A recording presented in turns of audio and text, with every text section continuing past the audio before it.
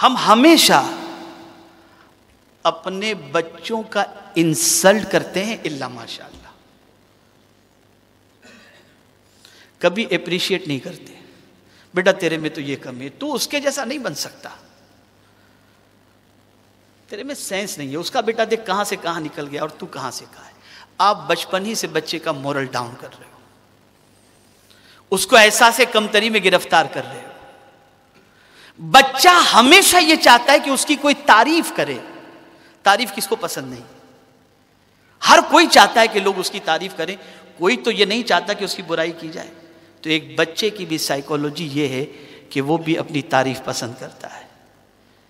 जब आप उसकी तारीफ़ करते हैं, चंद बच्चों के सामने, मेरे बेटे जैसा बेटा तो कोई हो ही नहीं सकता। तो फिर उस, वो अपने आप को प्राउड फील करता है और कहता है, मेरे माँ बाप कितने अच्छे हैं।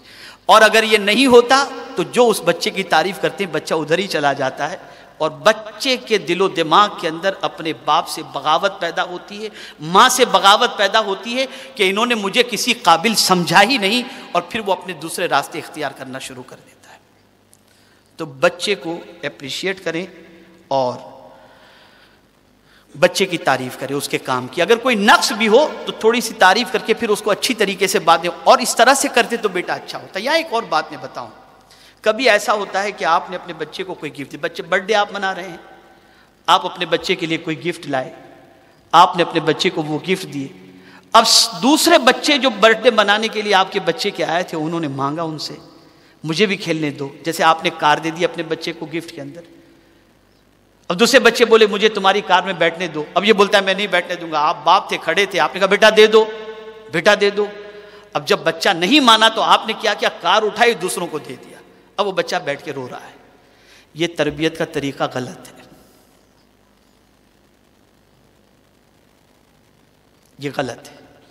इसका तरबियत का तरीका ये है कि आपने बच्चे की खुशी तो छीन ली, कि बर्थडे के मौके पर बच्चा बहुत खुश था।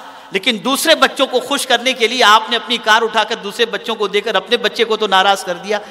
इसकी तरबियत का तरीका यह है कि बच्चे से उसकी ख्वाहिश पूछें, क्या बेटे आप पसंद करते हो कि आपकी गाड़ी से दूसरे भी खेलें? जब आप ये कहेंगे ना तो वो ना कहने की बजाय हाँ हाँ कोई बात नहीं, आप दे सकते काम भी हो गया, आपकी इज़्ज़त भी बच गई और बच्चे की ख्वाहिश भी पूरी हो गई और दूसरे बच्चों की तमन्ना भी पूरी हो गई। तरबियत की, हम बस सिर्फ़ डांटना जानते हैं, फटकारना जानते हैं और मुझे तो बहुत सारे माँ बाप पर हैरत होती है कि वो घर में जब एंट्री करते तो बच्चे छुप जाते हैं।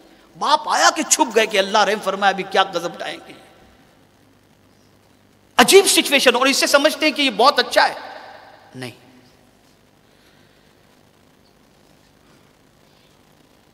ऐसा नहीं होना चाहिए। डर अपनी जगह पर है। डर अपनी जगह पर है। इस बात का डर बच्चे के दिल में हो कि मैं कोई गलत काम करूँगा तो मेरे अब्बा मुझे गुस्सा करेंगे, वो अलग चीज़ है। लेकिन रोज़ाना रात को घर पर आने के बाद बच्चा टेंशन, तू अभी तक सोया नहीं है, अभी तक खेल रहा है, शर्म नहीं आती तुझे? सुबह कौन तेरा बाप स्कूल जाएगा? ये ये सारी चीज़ें होती ये सारी वो चीज़ें हैं जो बच्चों के अंदर बगावत पैदा करती हैं। बच्चों के अंदर बगावत पैदा करती है। हमें चाहिए कि हम अपने बच्चों को ट्रीट इस तरीके से करें कि हमारे बच्चे अपने बाप को देखें तो उनकी खुशी की इंतहा न रहे कि मेरे अब्बा आ गए। अब्बा को देखने के बाद उन्हें खुशी महसूस होनी चाहिए, डर महसूस नहीं होना चाहिए। तो अपने एटीट्यूड को, अपने रवैये को इस हवाले से भी थोड़ा सा चेंज करना चाहिए। एस चैनल को सब्सक्राइब करें और बेल बटन पर क्लिक करें ताकि आपको सबसे पहले हमारी नए वीडियोस और लाइव इज्तमा के लिंक मिले।